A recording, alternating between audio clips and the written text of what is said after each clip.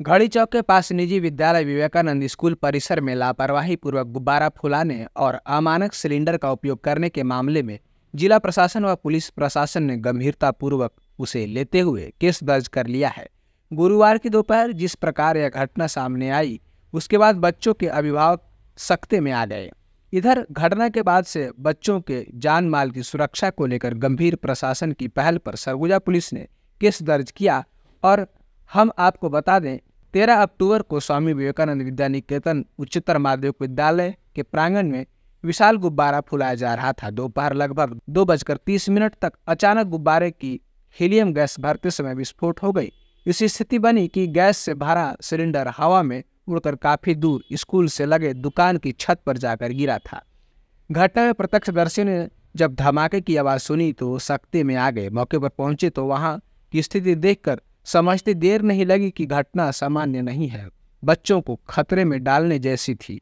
इस घटना के बाद जिला पुलिस प्रशासन की ओर से कलेक्टर कुंदन कुमार, पुलिस अधीक्षक सुनील शर्मा सहित अन्य अधिकारी स्कूल पहुँचे। उन्होंने जब एक कमरे में बैठे बच्चों की स्थिति देखी तो स्कूल प्रबंधन की लापरवाही पर जमकर बिफरे ये कल जो घटना घटी थी स्कूल में लापरवाही पूर्ण सिलेंडर का प्रयोग करते हुए दुर्घटना जो घटी थी, इसमें शासन की तरफ़ से अपराधियों पे एफआईआर दर्ज हुई है। ये एफआईआर थाना कोतवाली में दर्ज की गई है।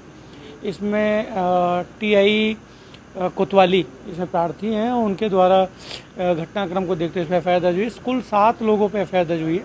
इसमें दो सिलेंडर कंपनी वाले लोग थे। तीन लोग इसमें हिंदू युवा एकता मंच वाले लोग हैं। उसके अलावा दो स्कूल के कर्मचारी हैं। जिनके द्वारा इस पर ध्यान नहीं दिया गया कि कौन स्कूल में आ रहा है, कौन नहीं आ रहा सुरक्षा का उन्होंने उल्लंघन किया। तो उन सातों के विरुद्ध एफ़ आई है, जिनमें चार लोगों का इलाज हॉस्पिटल में चल रहा है और बाकी तीन लोगों से पूछताछ जारी है। जल्द ही पूरे सबूत जुटा के इसमें गिरफ्तारी की जाए इसमें ये समझ में आया कि ये एक दशहरे के दिन कोई प्रोग्राम करने वाले थे, हिंदू युवा एकता मंच वाले। जिसमें ये गुब्बारा, जो एडवर्टीजमेंट के लिए गुब्बारा होता है जिसमें इनके मंच का नाम है, उसको वो लिखा हुआ है उस गुब्बारे पे। अभी ये सारी चीज़ें जाँच कर रहे हैं हम लोग कि ये तथ्य भी सही है कि गलत है। ये तथ्य प्राथमिक तौर पे सामने आया है। और वो गुब्बारे को फुलाते वक्त शायद प्रेशर ज़्यादा हो गया, उस वजह से वो धमाका हुआ। इसके लिए हम उसका मैकेनिकल इंस्पेक्शन वगैरह जो आई हैं करवाएँगे। कि क्या कारण रहे कि वो सिलेंडर फट गया? कि उसका प्रेशर ज़्यादा था या पुराना सिलेंडर था या नोजल ख़राब था? तो इसकी अभी ये जाँच का विषय है। फ़िलहाल इसकी जाँच चल रही है थाना कोतवाली में और टीआई राजेश सिंह इसकी जाँच स्वामी विवेकानंद स्कूल परिसर में गुरुवार की दोपहर गुब्बारा में गैस भरने के दौरान सिलेंडर फटने से 40 बच्चों सहित अन्य घायल हुए थे। प्राथमिक उपचार के बाद बच्चों को छुट्टी कर दी गई थी। घटना का भय ऐसा रहा कि शुक्रवार को दूसरे शिफ्ट में स्कूल में बच्चों की उपस्थिति कम रही अभिभावक बच्चों को स्कूल नहीं भेजे। सिलेंडर ब्लास्ट होने की घटना में पाँच से छह बच्चों की आँखों में चोटें आई थी। उन्हें उपचार के बाद छुट्टी दे दी गई थी। दूसरे दिन चेकअप के लिए इन बच्चों को मेडिकल कॉलेज अस्पताल लाया गया। चिकित्सकों का कहना है कि इन बच्चों को अब कोई खतरा नहीं है। आँख में मामूली चोटें थी।